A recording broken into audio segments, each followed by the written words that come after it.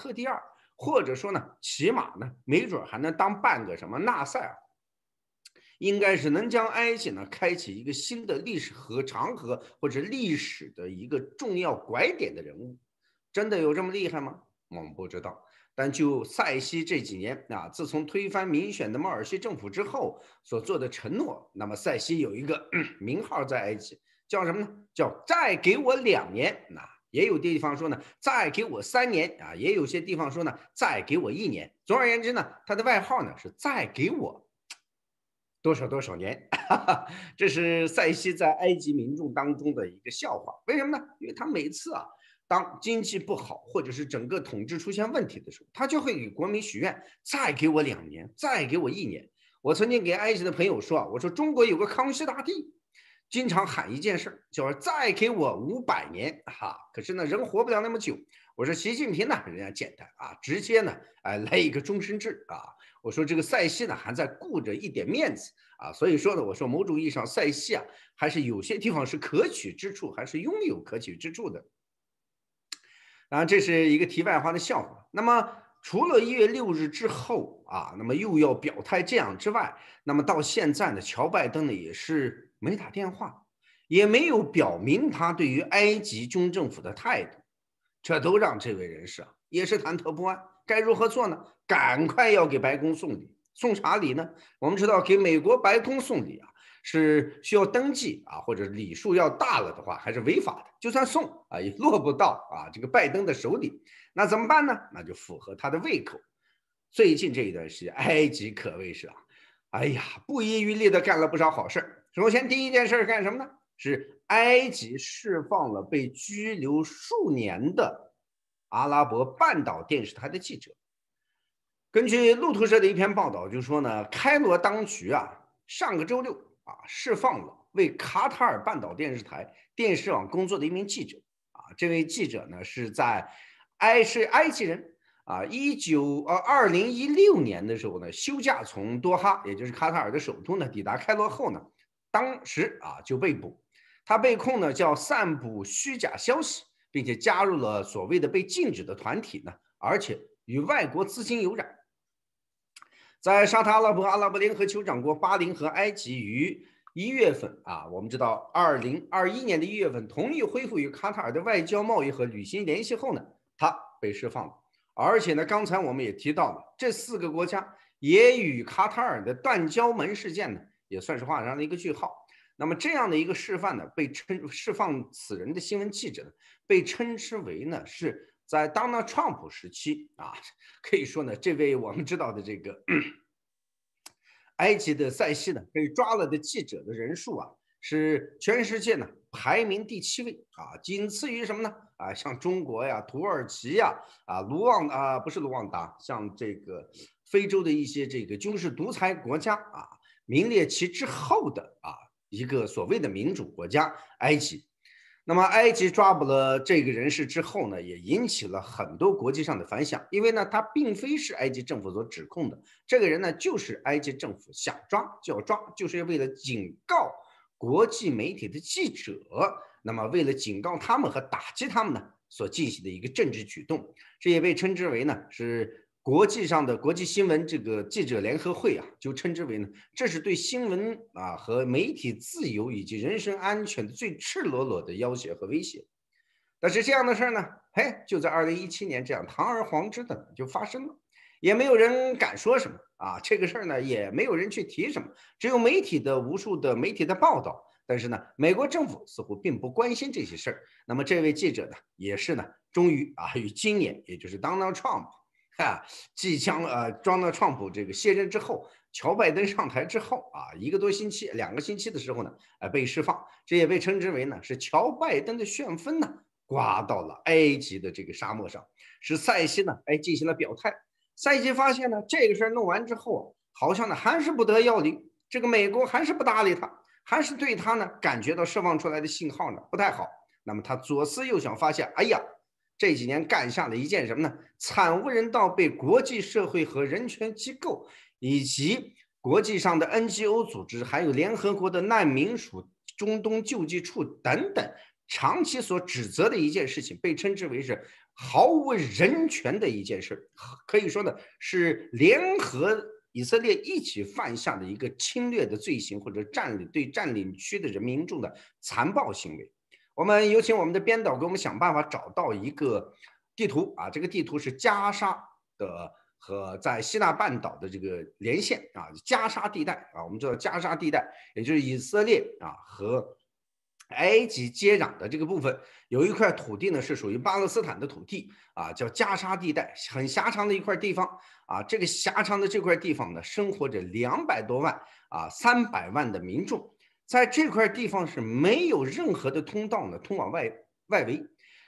加沙地区呢，通往这个通过以色列进入到巴勒斯坦的地区呢，已经被封锁了数十年，而埃及有一个拉法口岸呢。是唯一的一个加沙口岸通向世界的唯一的通道，而这个口岸的不是以色列在把守，是谁呢？是所谓的巴勒斯坦的坚定的支持者，所谓的巴勒斯坦人的盟友，所谓的阿拉伯人的啊这个第一大国的埃及所把守。那么巴勒斯坦与埃及的这个领土呢？哎，这个边境线呢可以说呢，从几数年前开始被关闭之后，什么时候被关闭的呢？我可以这样告诉大家：当年二零一一年的时候，埃及的前总统，也就是个独裁者穆巴拉克，那个时期呢，加沙口岸就是被时断时续，一年呢十二个月，能开个两个月、三个月就算是多的。人们的食品、人们的所有的东西呢，都依赖于这个拉法口岸。那么。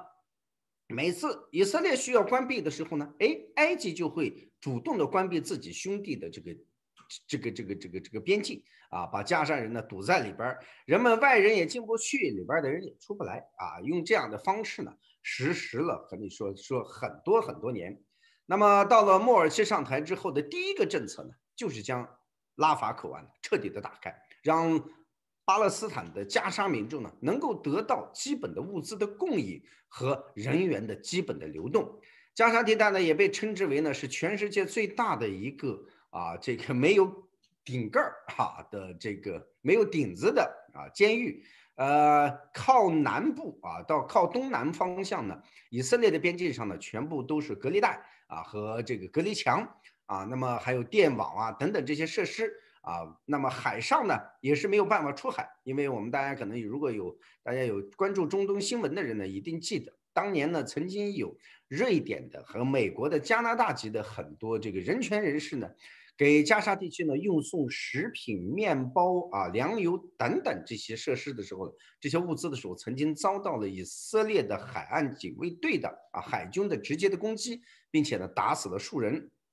其中还包括美国人啊，这样的一个震惊这个全球的一个大大事件，来以此呢来阻吓啊所有敢于去支援加沙民众或者提供物资的任何的组织或者任何的个人。那么这些事儿呢，都是曾经发生过的一些历史上的一个啊，也不算历史了，就这近近十来年啊所发生的一系列的这些事件。那么在奥巴马执政的后期呢，那么我们知道。呃，这个埃及的塞西呢关闭了拉法口岸之后，速度也曾经关闭，但是在美国的协调和调停之下呢，那么加沙口岸呢也是时断时续的会开，一年虽然说不可能都开啊，但是每年总有两三个月呢还是可以开的。那么民众呢可以利用这样的时间段呢，能够囤积更多的食品啊，以及物资、医疗用品等等，勉勉强强这个地方呢，人们还能过得下去基本的生活。而到了二零一七年之后呢，这个口岸就逐步的被关闭，而且一关闭呢就是数年之久。那么而且是坚决不打开，一个鸟都不让飞出来。有人说加沙是恐怖主义组织。那么这样的地方，如果不出恐怖主义组织或者不出恐怖主义分子，我倒是觉得这些人啊，那就不叫人，那都是绵羊。所有被哪里有压迫，哪里才有抵抗。一个没有失去生存权利的，如果这些人不去奋斗、不去抵抗，他们被周围的数个大国所控居在那里。那么民众要有基本的需求、基本的生活物资，特别是二零二零年爆发疫情之后，这个地方是一个被世界遗忘的地方，而这个地方却是在地中海的东岸，那么一个人类的文明的发祥地的中心区域，这被称之为呢，说这是二十一世纪的人类的另外一个啊不可磨灭的一个污点。还好，哼，这两天呢，埃及宣布无限期，也就是什么样子的一个话呢？叫无限期开放与加沙地带的拉法的过境点。这个采取行动的时候呢，还包括什么呢？说包括啊，让埃及组织让法塔赫，也就是巴勒斯坦的解放组织法塔赫和哈马斯在内的巴勒斯坦各派呢，同意在开罗呢会谈中呢，尊重并接受即将举行的民意投票的结果。巴勒斯坦地区呢，已经很多年没有投过票，那么这一次呢，开放之后呢，也准备呢支持他们去投票。突然之间，埃及的这样的一个转换呢，很多人说啊，表示欢迎。很多外交人士也都觉得呢，哎，这一下那个地方的人道主义灾难呢，即将会出现一个松动的迹象。很多人都在欢呼雀跃，给塞西的表扬信呢，也是不断的在增加。而塞西的表扬的信，真的是塞西突然之间变好了呢，还是什么样的一个原因呢？有一些中东问题专家说，这。又是在给华盛顿白宫送的一份礼，希望白宫呢能够看到啊，这个塞西在民主啊以及人道等等方方面面，哎，还是准备做出一些好的事情来迎接美 美美利坚合众国的新总统，而不至于呢跟美利坚的合众国的新总统呢闹翻啊，这是给拜登的所献上的一个大礼。那么，除了埃及的这样的一个军政府啊，这样的一个军事独裁者上台推翻民选政府上台的这样的一个独裁者最近的这个变化之外呢，我们还得说说什么呢？还得说说沙特阿拉伯。我们知道，沙特阿拉伯呢是一个人类社会上可以到今天为止啊，一直长期被认为呢是最最啊这个这个这落后啊部落制的这种方式所管控的一个国家。呃，很多人时常批评说，伊斯兰教啊，对这个妇女啊不尊重啊，对妇女的权利呢根本是漠视的，这是一种落后愚昧的代表。哎，这话对不对呢？话是对的，没错。但是实际上这并不能够代表伊斯兰，因为这只是沙特阿拉伯这样一个国家，在整个阿拉伯世界啊，我指的是阿拉伯世界正在和一直都在犯下的一个重罪。好多人说啊，这个伊斯兰的教的经典当中啊，要求把女性要如何如何如何啊，怎么样怎么样。其实这个话啊是非常的有失公允的。在伊斯兰教的这个经典当中呢，对女性的尊重，他们的财产权、生命权、自由权均有明文的且非常之高的这种保障。而这种保障呢，有一句话说的特别好。《古兰经》当中有一句话说什么呢？说你的天堂在哪里？我们知道一神教的人呢，都最终要追求一个天堂啊。那么你的天堂在哪里呢？哎，有一句话说，在你母亲的脚下。那么还对男人们是怎样讲的呢？哎，说你你的啊这个随犯，也就是说你的行为和你是否你的行为受到了按造物主的喜悦呢？那么他最好的答案来自于谁呢？来自于你的妻子和你的孩子。如果你是爱怜他们的，那么你将会是得到喜悦的人啊，这是圣训的一部分。那么在这样的一种文化氛围内呢，实际上阿拉伯世界的很多国家女性的地位是高于男性的啊，而且是还不是一般的高啊。稍微在那些地方生活过的人都知道，但是生活在沙特阿拉伯的人绝不会有这种感觉。所以活在沙特阿拉伯的很多人觉得，他们就是呢。严苛的对女性呢，把女性当中自己的财产的一部分来对待，这是一个无可辩驳的一个事实。任何人怎不管你怎样说，你怎样去辩护或者是维护，这都是一个既定的事实。而这位曾经被我称之为电锯手的穆罕默德本萨勒曼啊，也就是 MBS 沙特阿拉伯的现任的王储，哼，曾经屠杀了。啊，这个《华盛顿邮报》的专栏作家啊，卡舒吉啊，杰马里卡舒吉啊，这样的一位人士的直接下令者，这个罪犯，在这几年里，可以说呢，一直呢是在国际舞台呢闪亮登场，似乎呢他是没有干过任何的事儿。在美国政府的包庇，或者是川普政府的包庇之下，那么可以说这人呢，哎，没有受到什么样的谴责，反倒呢，哎，还容光满面啊。那么真是一世不可啊一世的这种啊势头呢，在沙特阿拉伯呢横冲直撞，想干啥干啥，想杀哪个杀哪个，想关哪个关哪个，从来没有在人权方面、女权方面以及法治方面呢有任何的。啊，真正的实质的推进，不过最近变了，最近变得很厉害，而且呢，关心女性，而关心儿童啊，关心什么呢？哎，自己的反对派，关心在沙特阿拉伯范围内的哎少数族派，关心沙特阿拉伯境内的宗教少数派啊，这个民族少数派啊，各式各样的这种关爱现象啊，哎，平然而起，真的是啊，一片什么呢？哎呀！这个王储一夜之间从一个恶魔啊变成了一个大善人，四处撒钱，四处发发钱，哎，给穷困人，给女性，监狱里边释放各式各样的这个政治犯啊，女性的犯人，用各式各样的方式呢，在展现着他的仁政。啥时候发生的呢？十二月十四号之后，一月六号之后，和一月二十日之后，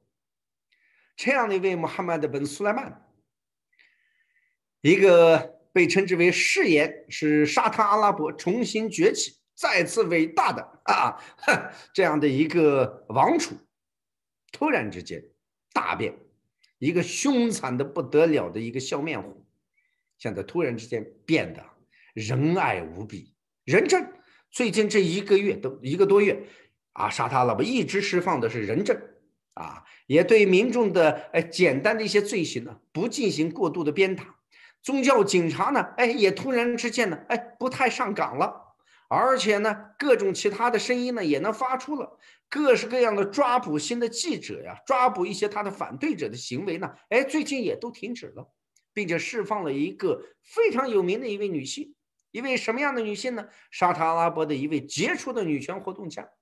她争取什么呢？她为了争取女性的驾驶的权利，而且要结束男性。对女性在沙特阿拉伯境内以及境外的监护权，什么意思呢？我给大家举个简单的例例子。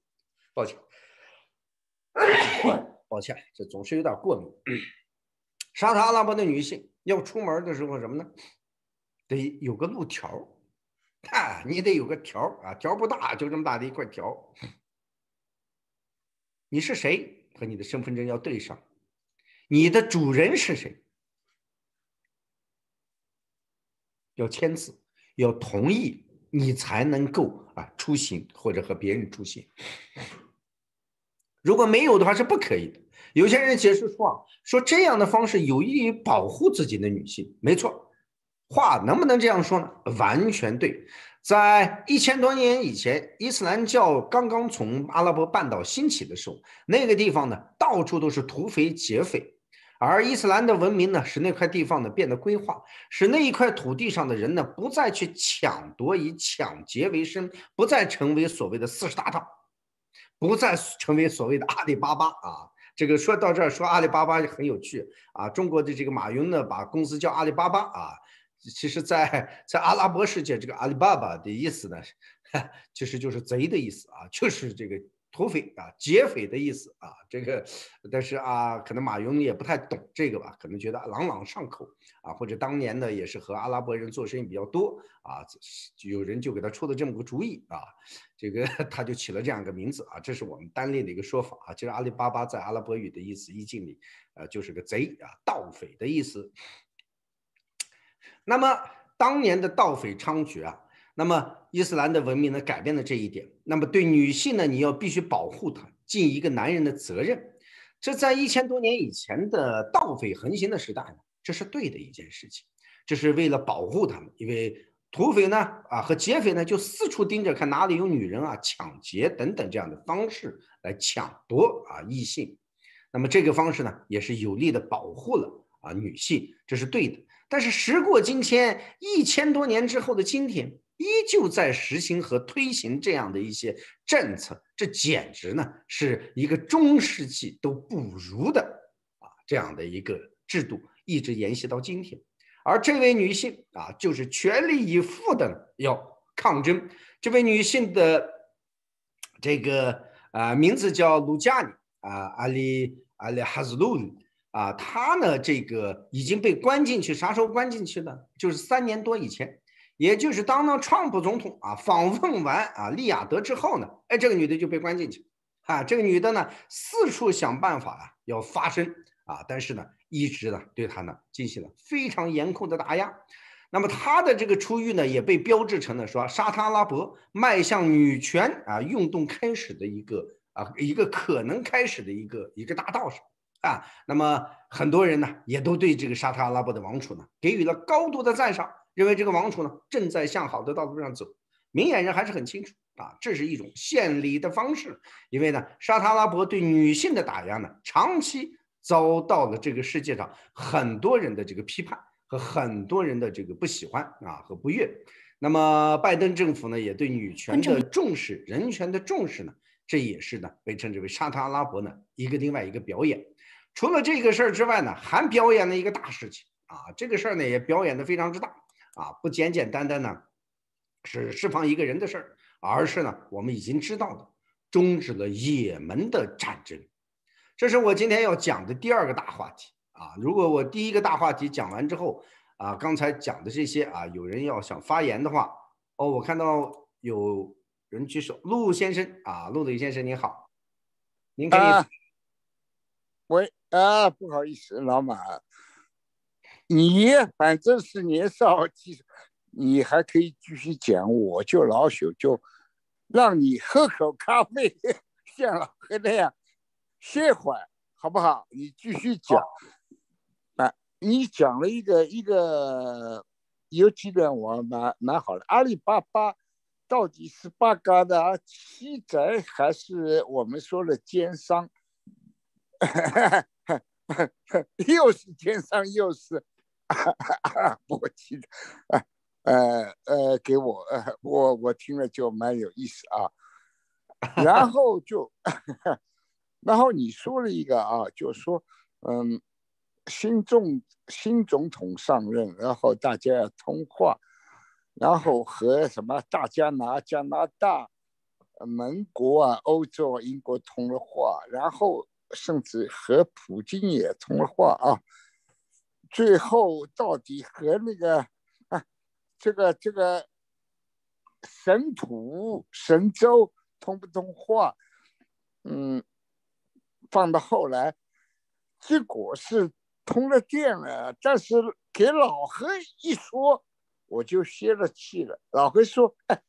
你说约定的话。”通话，那么你先打过来，他先接过来。按中国的风俗，应该是春节半年过了初一、初二通话。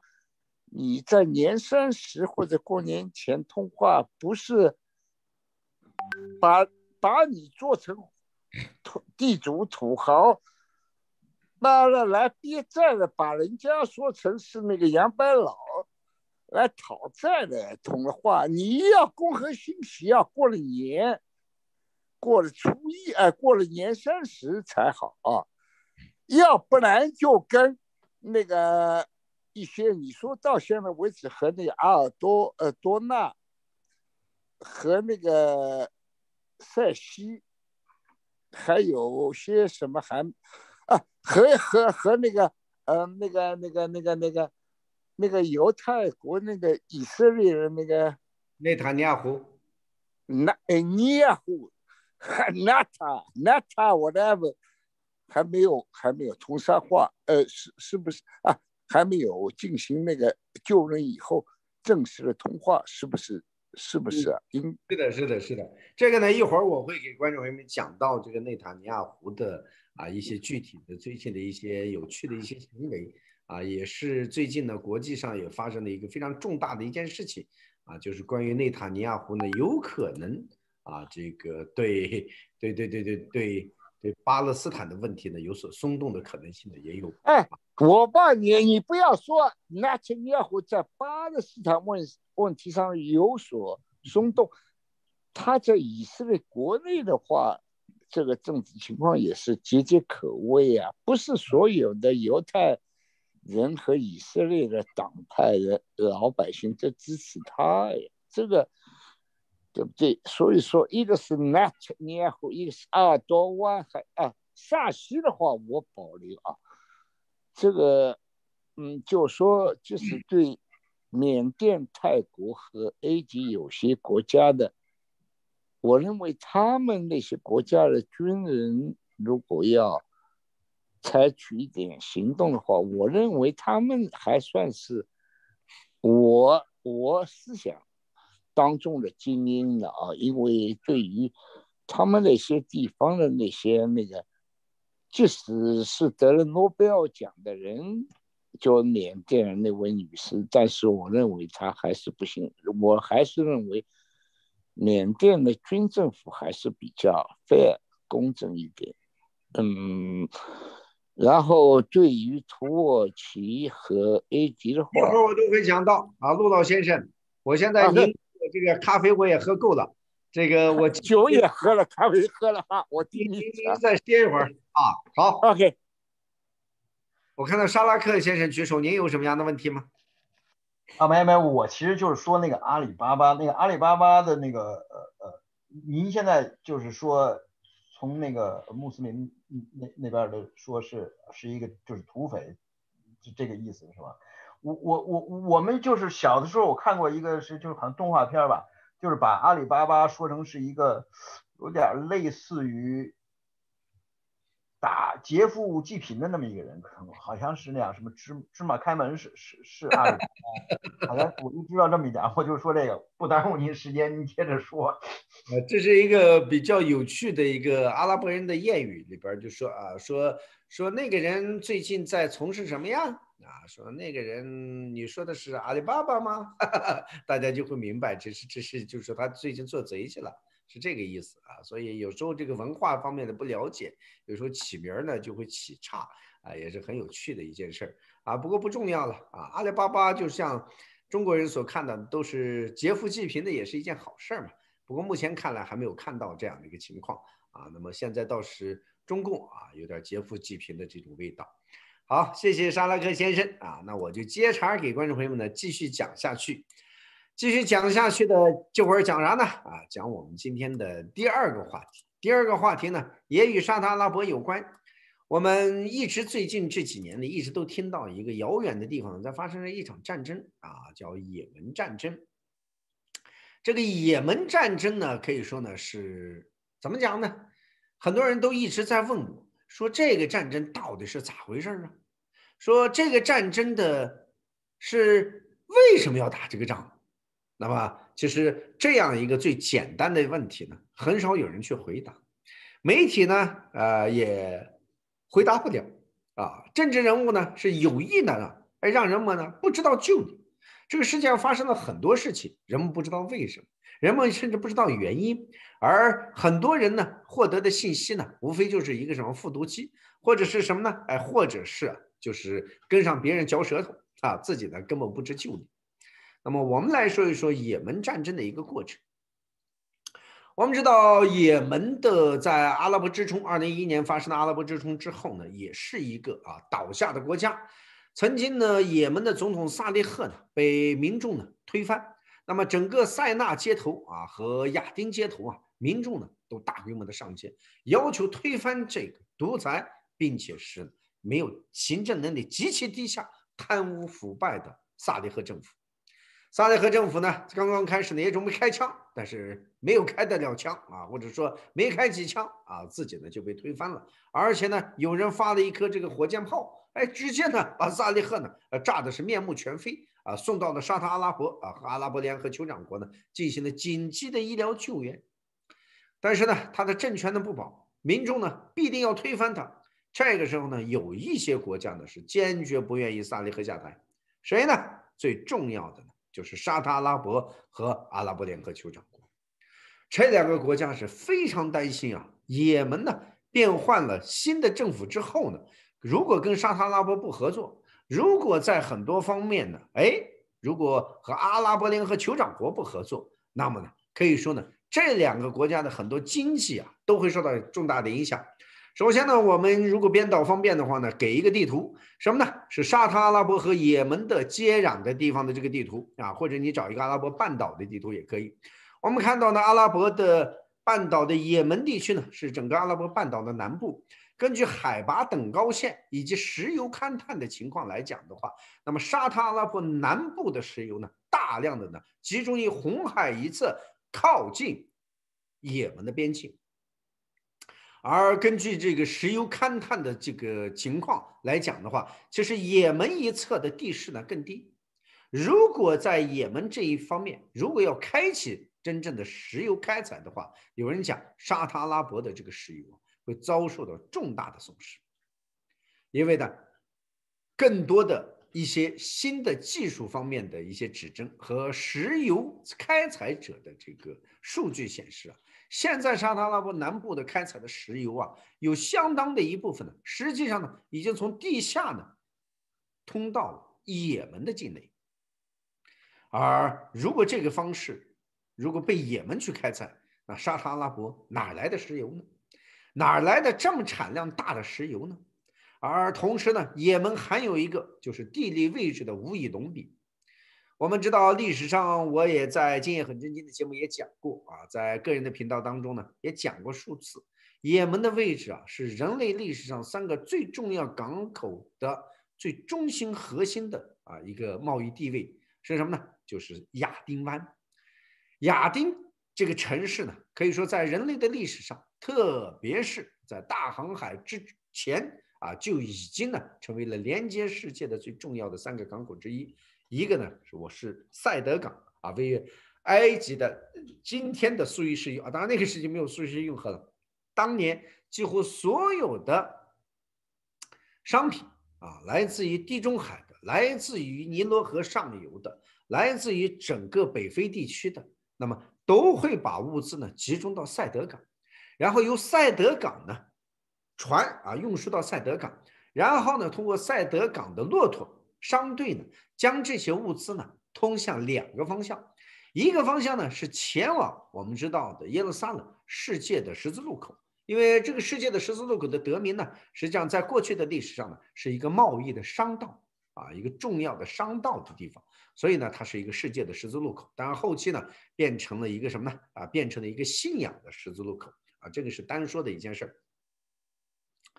那么通过塞德港之后呢，传递到今天的红海。那么进入到红海之后呢，哎，有一个叫啊港口城市，埃及有一个港口城市啊，叫什么呢？哎，叫伊斯梅利亚啊，在伊斯梅利亚地区呢，来装上新的船呢，来进入红海呢，一直航行到哪里？航行到亚丁湾，作为整个印度洋地区的大型的物资的枢纽。还有一条路呢，是从塞德港啊，驼队呢，哎。摇着铃铛啊，一直推到哪里？推到啊，经过这个耶路撒冷之后啊，那么进入到今天亚各巴港，也就是红海靠近约旦，今天和啊这个巴勒斯坦的交界的那个啊，就是我们知道约旦河谷的出海口的地方啊，有个地港口叫亚各巴港啊。这个亚各巴港呢，装船之后呢，运输到啊这个亚丁，然后呢，从亚丁呢啊疏散到这个全世界啊，是这样的两条路径。那么除了这个路亚丁之后呢，那么连接世界的更重要的一个港口啊，或者是跟这个所谓的海上丝绸之路哈，那么也是呢要到中国的这个泉州港啊，这是被构成了当时世界文明交流交互的最重要的地区。而这三个港口当中呢，唯独亚丁湾呢是最最啊重要的一个港口啊，它不仅肩负这两个文明之间的交流和物资的流通，而且它加肩负着。整个印度洋的啊，几乎所有的沿海的贸易的中心的枢纽啊，就在亚丁。而亚丁如果崛起，或者说呢，也门如果进入到有序的状况之下，那么也门的迅速的这个强大和迅速的崛起呢，也势必呢会造成呢像沙特阿拉伯的石油的损失，以及我们知道的阿拉伯联合酋长国迪拜作为贸易中心和商业经济文化阿拉伯世界和伊斯兰世界的中心地位呢，都会啊遭受到重大的这个损失和影响。除了这以上的这些简单的我们可以估算得了的经济原因之外，还有政治方面的原因。政治方面的原因是什么呢？是我们知道世界的秩序呢，现在被控制在美英的手中，而就从物资流动和交通的控制来讲，美国啊和英国主要控制着像马六甲海峡、苏伊士运河啊，我们还知道巴拿马运河啊，还有这个呃。这不大的直直布罗陀啊，直布罗陀海峡啊，这样一个地中海入大西洋的口等等这些，唯独美国啊和英国现在没有控制得住啊，不是他不想控制啊，这就是一个亚丁湾地区，也就是红海的入海口。那么一面是索马里啊，一面就是也门啊。那么曾经在历史上这两个国家长期战乱啊，如果观众朋友们记得的话，曾经在一九九二年的时候啊，发生了这个黑鹰坠落事件。啊，就是当年的老布什在竞选年啊，在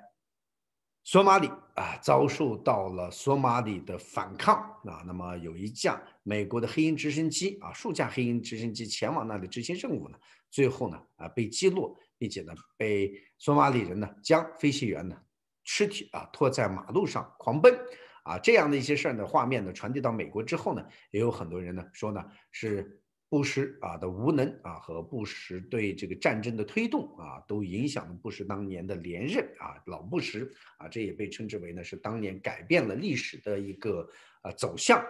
那么美国呢，也就是和英国都没有控制得了这两个地方啊。也门呢更是打了几十年的内战啊。冷战结束之后，那么萨利赫呢不断的控制了这个国家啊，在由沙特阿拉伯啊美国的盟友和阿拉伯联合酋长国的这样的一个。啊，前置之下呢，哎，也是可以说呢，某种也也是属于美国所能控制的一面。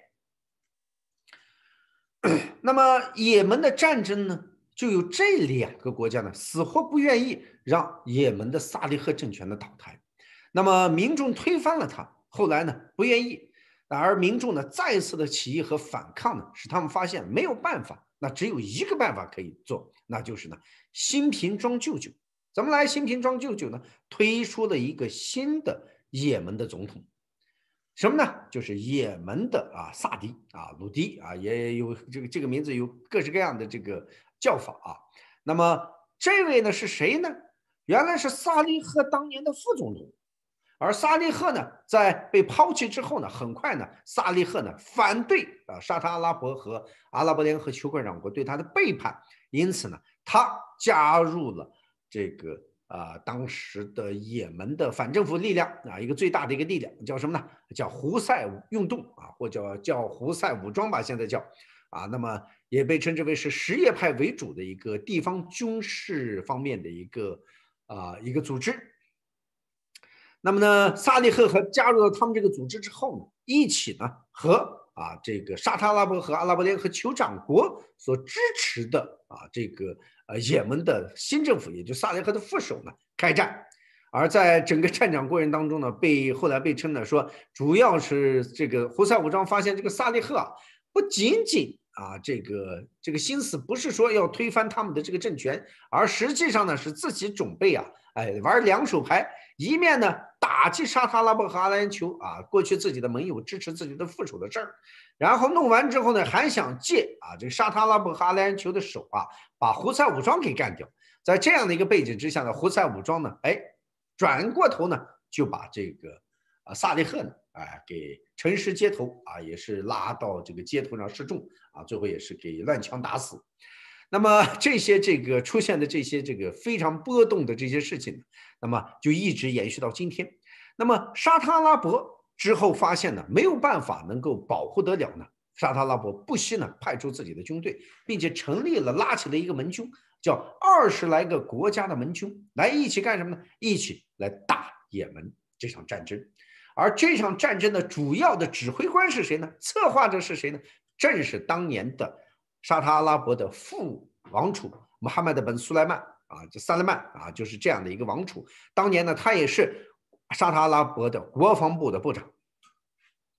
他推动了这样的一场啊这个战争。这个战争的目的呢，不是别的，他把这个战争现在已经从新闻角度的叙述和宣传的叙述呢，宣传出是什么呢？胡塞武装是恐怖主义分子，所以呢，我们要消灭恐怖主义分子。但是他只字不提和，甚至用谎言呢，欺骗了所有的这个很多的观众和对这件事情的了解者。他用什么样的谎言呢？就是恐怖主义的话语权，来把这个所有的这个反抗者的抹黑。当然，反抗者当中有没有干过所谓的恐怖主义事件呢？我们不知道，我们也没有办法。但是我们必须要理清的是什么呢？说这场战争的不义是。也门的民众要求推翻萨利赫政权，他们来了一个新瓶装旧酒的方式，民众依旧的不接受，他用战争的方式来阻止民众的民主的诉求和希望变革的诉求，而保护自己的基本的利益。这场战争呢，一直打到现在，距今呢也已经有八年的时间啊！这场八年时间的这场战争呢，已经有数十万的也门民众的死伤。那么同时呢，光因为第一次在阿拉伯的半岛上发生的一件人道主义危机是什么呢？民众因为营养不良和饥饿大面积的死亡。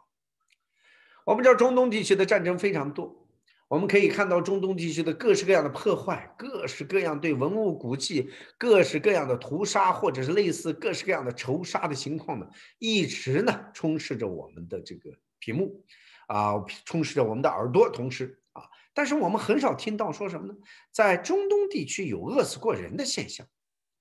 啊，那样的一个不毛之地、干旱的地方，哎，居然呢，哎，民众没有在战争的过程当中被饿死，或者是类似这样的消息呢？极少极少，有没有发生过所谓的民众这个缺医少药啊，或者缺吃缺喝的现象呢？一定发生过，而且绝对发生过。但是说大面积的长期的物资供应不良而导致的民众的大批量的大面积的死伤和饥饿导致的这种死伤呢，我们没有听说过。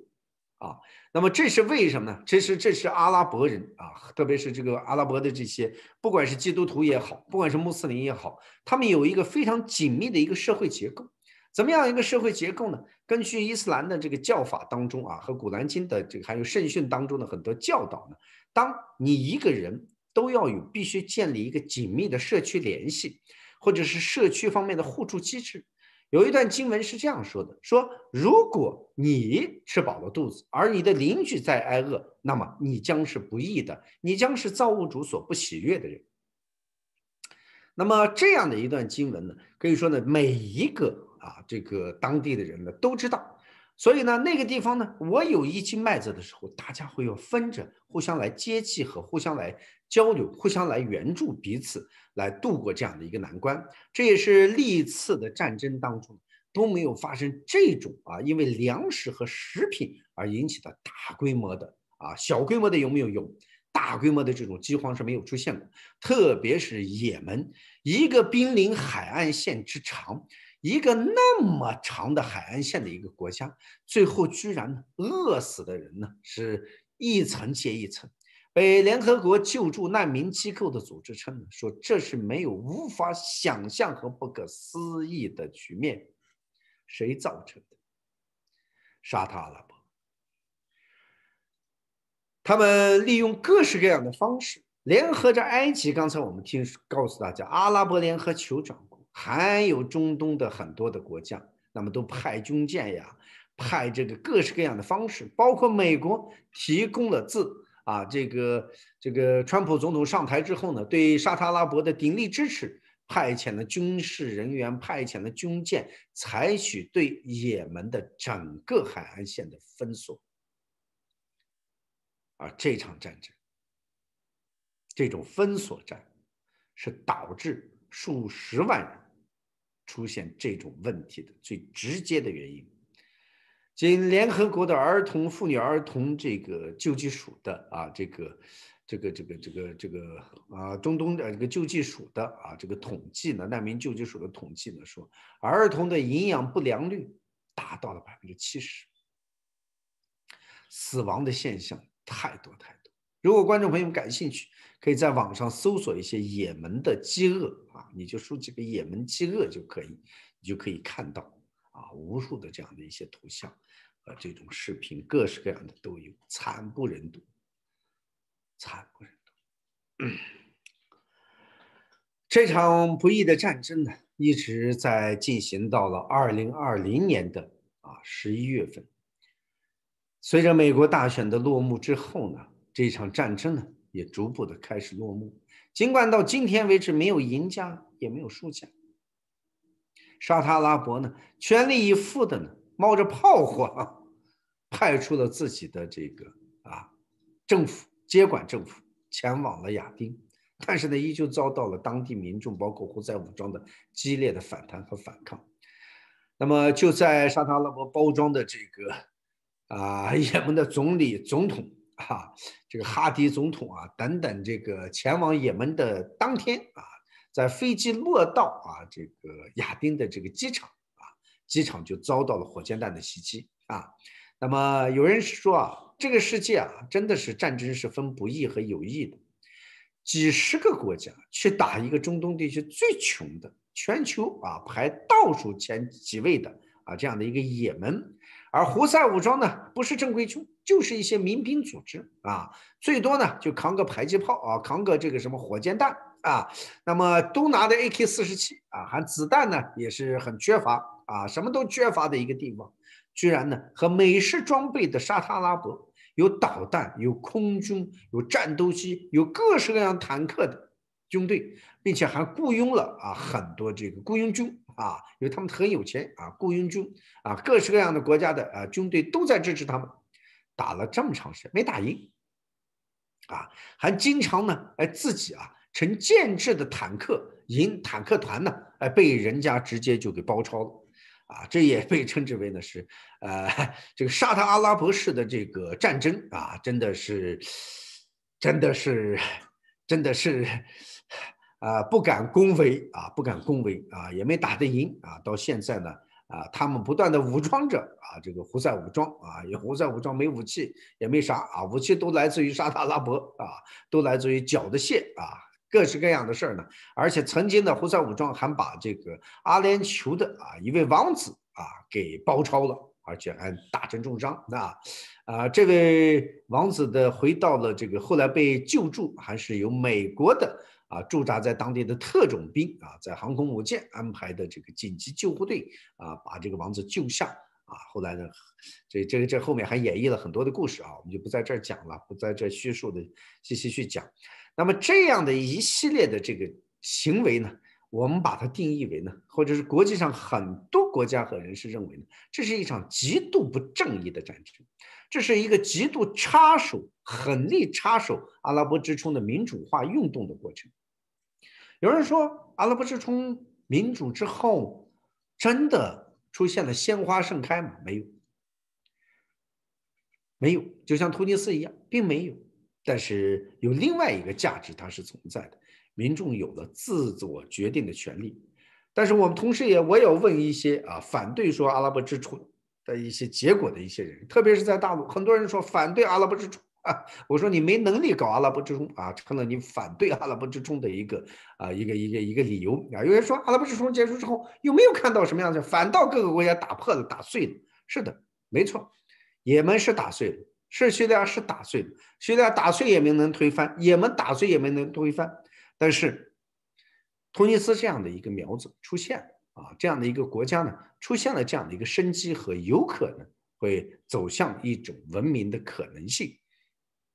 我们不就是为了这样一点希望吗？我也经常在问人，我问突尼斯人，我说：难道本阿里执政，你今天会活得更好吗？这是给突尼斯民众的一个打一个问题。我相信每一个民众都心中有自己的答案。这就是一个反抗暴政的一个理由和一个最有力的啊一个原因。那么这场不义的战争在沙特阿拉伯的推动和这个咆哮和叫嚣之下。啊，也于美国啊，二零二零年的美国大选之后呢，逐渐的落幕啊。那么最近的，沙特阿拉伯呢，也呢，哎，要各式各样的和平协议要签，哎，各式各样的这个食品援助啊，又是空投这个医疗物资啊，又是这个提供大量的奶粉啊，又是提供大量的这个营养品啊，哎，各式各样给沙特啊，给这个也门民众的福利援助啊，源源的到来。过去拉这个拉这个武器的船只啊，和这个拉武器的这个军事啊，这个军机啊，现在都变成了拉这个援助的。一时之间呢也门人很不习惯，也门人说：“这咋这么怪呢？昨天还天天给我们狂泻的是炸弹哎，今天转过头来呢，跟我们撒下的就是糖果啊。那么这种变脸的方式啊，还真快。所以呢，我也把这戏称为啊，这都是啊给白宫献礼的一部分。因为这场战争，拜登上台之后呢，在第一个星期就表示说，对于也门的战争的不义呢，是不可以被接受的。同时呢，这个也门战战战争啊，在川普总统的最后时刻呢，川普总统还干了一件事，干了个什么事呢？说把也门的胡塞武装定性为恐怖主义组织。这一定性，大家很多人说，哎，他们是不是犯下恐怖主义罪行啊？我不知道啊，我刚才就讲讲我不知道。但是这样的结果导致的是什么？是也门的人道主义灾难进入到了更加危险的边缘。为什么呢？一旦列入美国的财政部和美国的金融美元计价的所有的商品和结算一律终止，这样的一个终止，也就是意味着怎样的一个情况？意味着所有的也门的啊对外采购终止，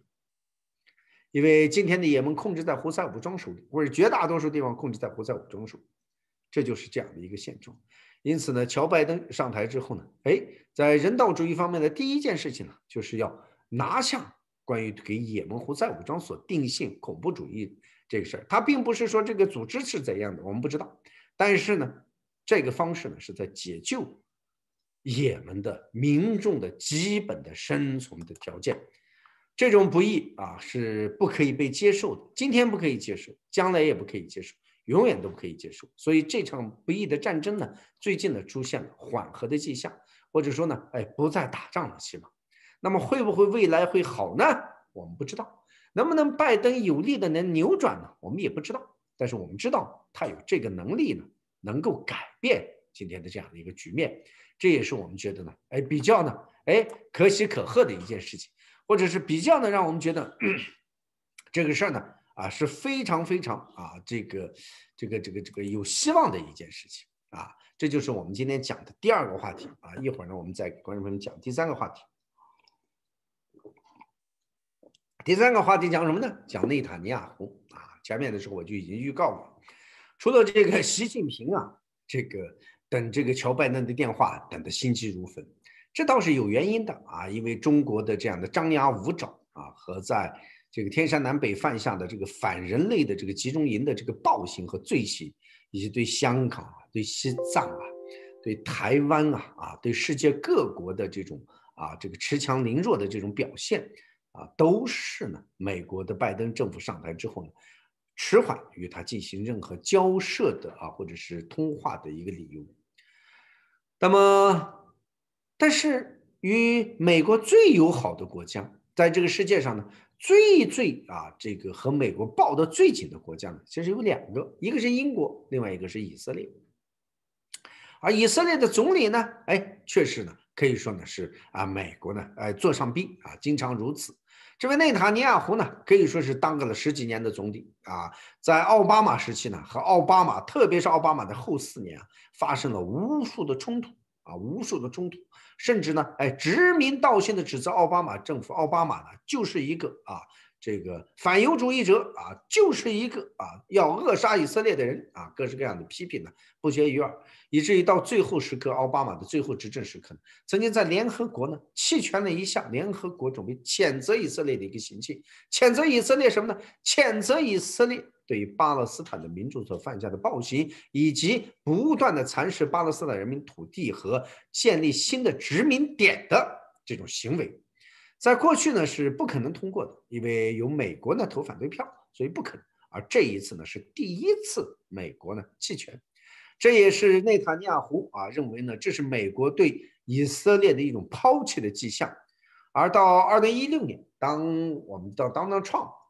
这个前总统啊获选胜选之后呢，那么这个世界上各个国家领导人最为开心和狂欢的人呢，正是我们知道内塔尼亚胡，而且内塔尼亚胡呢，也是呢最早啊，甚至有人说呢，按照时间顺序来比较的话，他是比啊日本的前首相安倍晋三啊还要早跑到纽约见当拿创普的人。而之前呢，这位内塔尼亚胡呢，就与川普总统的女婿，同是犹太人的库什纳先生呢，保持了高度紧密的啊合作和交流。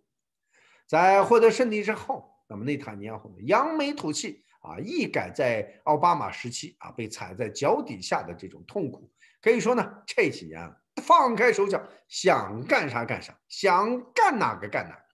不过呢，他有一个困惑。啊，什么呢？他在这几年啊，特别是前几年的时候，犯了很多的政商的错误。同时呢，最重要的一个致命的是什么呢？他的贪腐案，他以及他的夫人、他的儿子都被以色列的最高检察长所起诉，并且呢，有人说呢，他的罪行呢是明明白白、清清楚楚，只要他下台，第二天就会收到逮捕令。他与中东地区、以色列地区的一个啊，这个通讯的商人之间的经济交易呢，这位商人呢已经认罪，并且呢已经伏法，而这些款项呢也是明明白白、清清晰晰。因为他现在是总理，拥有豁免权，因此呢，检察官无法拿他。那么这几年的选举过程当中呢，以色列也是数度的选举，每一次选举呢都是危险至极，甚至有两次的选举。内塔尼亚胡的票数呢都不敌自己的政敌，但是呢，他最后还是当上了总统啊，当上了总理。每一次呢都是险啊，又险，又险又险，但是呢，总是有一位啊，这个美国的总统对他呢鼎力相助，这就是我们刚才说过的 Donald Trump，川普总统前总统啊，对他的这个帮助呢，可谓是呢是哎呀不遗余力。第一次出现啊大的这个选举的这个预期啊会失败的时候。川普总统大笔一挥，把一个啊这个人类历史上最重要的一个城市耶路撒冷大笔一挥送给以色列当首都啊，这个事儿啊可以说颠覆了1948年美国已在联合国推动的巴以分治计划的基本原则，那就是耶路撒冷作为世界之都不可分割，而。川普总统，我们知道想干啥干啥，想干什么干什么，随心所欲啊！可以说他也得到很多人的支持。但是他这样的后果在慢慢的发酵当中，我们且看未来的美国将会为此而付出什么样的代价。那么不管这个代价的事儿不是我们今天讨论的事情，我们就说呢，内塔尼亚胡的在川普时期的第一次选举显显的胜了，第二次怎么办？又出现了问题。那么内阁的重新的分崩离析，让内塔尼亚胡必须得重新组建政府，重新进行大选。而这次选举，内塔尼亚胡缺两票，而他的对手甘茨比他多两票，但是呢都没有超过半数，都要寻求其他的党来组。甘茨首先来阻挡，在内塔尼亚胡的极力的压制，以及美国的库什纳先生的极力的斡旋之下。甘茨没有组建成为新的总统，新的总理。甘茨的努力失败，内塔尼亚胡开始组阁，内塔尼亚胡呢怎么组也没有组成。第二次甘茨组阁又没有组成，而在这个过程当中，美国总统川普又是一个大礼送给了以色列，送给了内塔尼亚胡。不管什么样，那个时期他依旧是看守总理，送了啥礼物呢？格兰高地，一块叙利亚的领土。川普总统说：“格兰高地是以色列的。”这就又送给了以色列。哈，那么送别人的慷别人之慨的事儿啊，我们知道很多人都干过，周围肯定有类似遇到类似这样的人，但是没有像川普总统这样大笔一挥就送出了无数别人的领土，一个国际公认的领土啊，这样的事情呢，来力挺本杰明内塔尼亚胡。内塔尼亚胡又一次过了关，到了第三次，怎么办呢？川普总统继续强力支持，来一个所谓的亚伯拉罕协议——中东和平计划。我们知道，中东地区的和平呢是来之不易的，或者是一直没有到来。那么，什么有了冲突才有和平？啥冲突是中东的根基呢？就是巴勒斯坦的问题，以色列占领巴勒斯坦土地的问题。而这一次的中东和平协议啊，很有趣，跟巴勒斯坦没关系。是以色列和阿拉伯联合酋长国建国，还有巴黎啊，还有后来跟上的所谓的这个这个这个这个摩洛哥啊，这几个国，这两个海湾的这两个国家，阿联酋啊和巴黎呢，其实跟以色列没有什么样的毛病，也没什么样关系，双方之间暗通款曲很多年啊。呃，之下双方之间的交易呢非常频繁，而且合作的地方很多，也没有打过仗，甚至在巴勒斯坦问题出现的时候，这两个巴林和这个阿拉伯联阿拉伯联联合酋长国还没有成立啊，阿拉伯联合酋长国是一九七一年成立的，所以呢，跟以色列没有任何的瓜葛，或者没有任何的世仇，也没啥毛病。但是呢，签订了这样的一个协议，被一个伟大的、听起来堂而皇之的一个。宽泛的不得了的一个名头叫亚伯拉罕协议，说中东和平协议啊，说扣了一顶帽子。内塔尼亚胡又过关了，很危险。好景不长，这又是一届阻隔，没几个月，选举结果出来了，美国的选举结果出来。现在呢，以色列的政府又垮台，准备三月份呢再次进行大选。这个时候的内塔尼亚胡最需要的不是别的，最需要的是来自于美国的再一次的送个大礼，看看能不能把巴勒斯坦人的土地都送给他，能不能扩充他更多的这个土地，还是怎么样？还是能够把叙利亚更多的土地送给他，约旦的土地送给他，黎巴嫩的土地送给他，还是再能送什么呢？可是乔拜登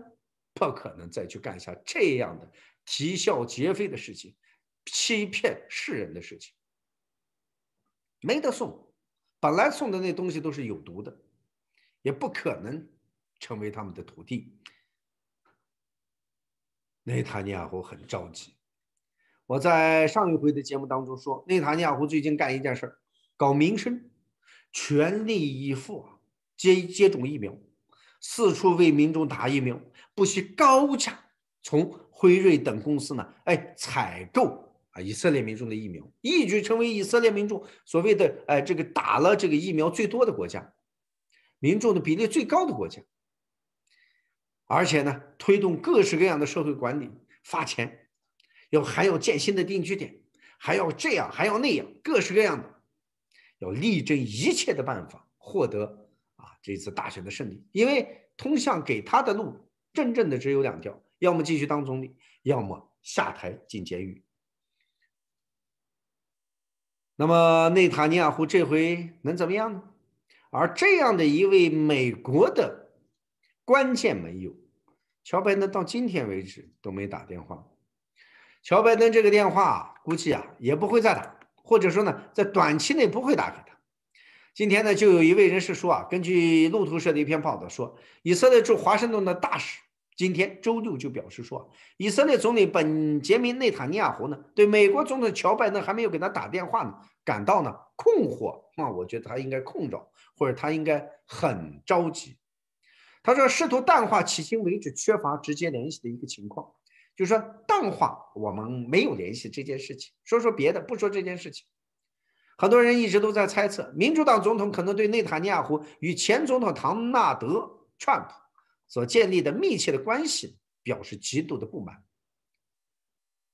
而川普二零一七年就职后的第二天，就给内塔尼亚胡打了电话，而现在的这位以色列驻华盛顿的大使说，他叫吉拉德卡尔丹大使，埃尔丹大使就对这个新闻十二台就表示说啊，说总理并不担心啊会谈的时机，他说拜登啊现在太忙啊，所以呢还要。应对大流行还得应对经济影响，所以呢，我们理解啊，拜登政府的这个啊太忙碌，所以不着急，不着急，让他慢慢打。而上周五呢，白宫否认拜登自一月二十日上任以来呢，没有向内塔尼亚胡及国外领导人啊这个故意轻视内塔尼亚胡。白宫表示说呢，我们有个时间安排顺序啊，我们也有很多自己的事情来做这件事情。而实际上，很多人都明白。内塔尼亚胡在乔拜登的眼中呢，就是一个麻烦制造者，同时呢，也是一个极端的右翼的，而且有指控说呢，以色列深刻的卷入了2020年的美国大选当中的很多事件。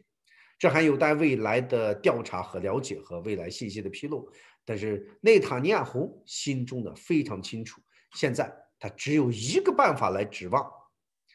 对以色列民众的内政的改变，看能不能保住自己的职位。不过，根据以色列的国土报啊，耶路撒冷的国土报所报道的，目前他的民调的支持度呢并不高，他的极右翼的利库德集团的支持度呢还是有，但是依旧是那些以极右化的、极右翼的。一小部分的极端派别的支持，但是是否能够获得这一次大选的继续执政，将是一个内塔尼亚胡人生当中重要的一个转折点。说完这件事儿之后啊，还得说说国际方面其他的影响对巴勒斯坦人。我们知道巴勒斯坦人的这个土地啊，因为一直没有建国，也没有加入到国际法庭，也没有加入到正式的联合国的成员国，只是的。联合国大会的一个观察员国，因为他不具备一个国家的这个资历，因为他数度要成立自己的国家。很多人说，巴勒斯坦人你自己为啥不成立？而每一次他们要成立的国家的时候呢，我们都知道，美国投下了最坚定的反对票。这是巴勒斯坦无法进入到联合国、无法进入到国际体系的一个重要原因。为什么不容许他们进入呢？因为要阻挡他们在国际刑事法庭对于他们的遭受的苦难的诉讼。这也被称之为二十世纪最大的一个流氓行径。一片别人的土地，划了一大半给予了其他的民众，这呢，联合国通过了，当地的民众接受了。我们认为呢，这是一种合理的形式，而犹太人呢，有权利也有必要给予他们一块繁衍生息的土地。这块土地给在哪里合适，我不知道。但是呢，今天这样的一个现实呢，是我们必须要去面对和去接受的一个事情。但是你不能把别人的一半以上的土地划给了另外一个人，而不容许这块土地上原来的原来的人们建立自己的国家，而你是在联合国通过了。两国协议，并且通过了巴勒斯坦分治协议的这样的一个啊制度，而每一次巴勒斯坦这个国家要建立国家的时候，却遭到了反对。巴勒斯坦的建国之路漫漫，而获得国际法的保护之路呢也漫漫。不过，就在最近，二月六日。来自了国际刑事法院的一个最新的裁决呢，给巴勒斯坦人呢带来了莫大的希望，而以色列的内塔尼亚胡呢，真的是悲哀不止。根据加沙啊最新消息说呢，许多巴勒斯坦人认为啊，国际刑事法院的一项裁决表明，该法院对巴勒斯坦领土具有管辖权，这是以色列受害其啊，这是以色列长期占领。导致了这巴勒斯坦的受害者伸张正义的一个重大机会。对于以色列内塔尼亚胡来说，与上周五的这个裁决呢，令他非常的担忧，因为他们说呢，他们是捍卫自己免受巴勒斯坦暴力的好人。这真的是一个非常有趣的一件事儿。而这样的一个审判的一个决定和拥有管辖权，意味着。那么，在巴勒斯坦领土上所建立的这些东西，都将会遭到国际刑事法院的审查和审核。这是一个利用国际现有的法律体制维护巴勒斯坦民众的一个最好的一个路径。而这一系列的事情，包括刚才我们讲到的埃及，我们讲到的沙特阿拉伯，讲到的也门，还有我们没有讲到的无数无数的这些事情。最近在中东地区发生了重大的这种变化，特别是巴勒斯坦人，加沙被解禁，多达这个数年啊，这个帕沙加沙的这个拉法口岸呢是关闭的，人们终于有了一个出气的口，可以出去，可以物资可以进来，人员可以流动，这是一个莫大的一个喜讯。而对于巴勒斯坦民众的土地不断的被蚕食和侵害，终于有了可以伸张法律的一个地方，这都发生在二零二一年，这都发生在二零二零年的美国大选之后。我们并不是说这就似乎是拜登是一个明灯，我们不知道，也许它只是一个假象。但是我们知道，这些事情本应该不会变得这么恶劣，但是在前几年，这些事变得越来越恶劣，甚至已经失去了正义性，失去了人性，是我们不得不谴责，而且必须去谴责的事情。今天这些事儿回归了正常，这并不是什么民主党拜登的功劳，只是世界应该是一个正常的。或者是是一个必须有正常轨迹发展的和进步的一个一条道路啊，正在出现和正在进展。这就是我今天的经验很震惊啊。那么给我的观众朋友们呢，也是只讲了一个小时多一点啊，这个嗓子呢也这会儿冒烟啊，看有没有提问的。如果没有提问呢，我们就今天的节目呢就做到这里。节目虽短，但是呢这也是。我想通过这样的一个节目，告诉我的观众朋友们，有时候啊，这个呃，美国这个国家的强大就在于此。美国的风风向和方向，深刻的影响着这个地球上的每一个人，给每一个人都有深刻的影响，特别是对弱者和卑鄙者，影响是最大的。谢谢大家收看这一期的《今夜很直击》，我是播报人马驹，再见。